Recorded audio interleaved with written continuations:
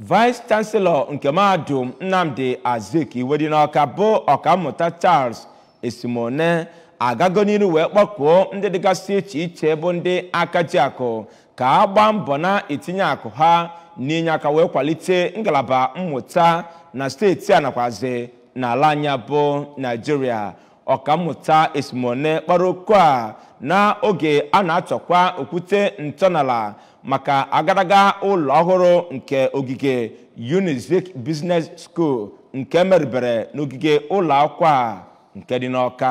ebe emmanuel okonkwo ga-ezikọtapụrụ akụkọ a.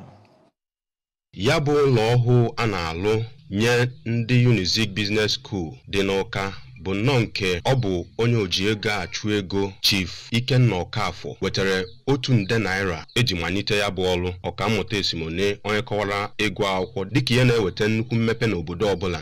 Rụtụrụ aka na ọ bụrụ na ndị naijiria ga-amụta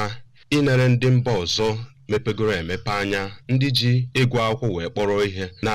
ọnọdụ naijiria ga-agbanwe n'uju. Ọkachasị ihe banyere akụnụba ha. Ma kpọkwue ndị ọzọ nwere ego na steeti a ya nakwazi na mpaghara naijiria niile ka ha gbatara ya bụ mahadum ọsọ enyemaka. N'okwu ha dị iche iche onye ji ọkwa direktọ nke unizik business school bụ ọkammụta eme okoye nakwazi osote ya bụ ọkammụta chinedu onye izugbe nọrọ oge ha na-ekene chief okafọ maka ya bụ ọrụ ọma na-arụ na ya bụ mahadum kwue na ya bụ ụlọ akwụkwọ unizik business school. Bụ nnọọ nke ebe ụmụ akwụkwọ na-anọ wee na-agụ akwụkwọ na-echere aka mgba nke mere ha ji arụ ya bụ ụlọ ọhụụ ha na-alụ ma kwue na ha ka chọrọ enyemaka n'ebe ndị nwere ego nọ na steeti a nọ iji wee rụchapụ ya bụ ụlọ. N'aka nke ya ya bụ onye ọrụ obi ebere nakwazi onye so na bọọdụ nke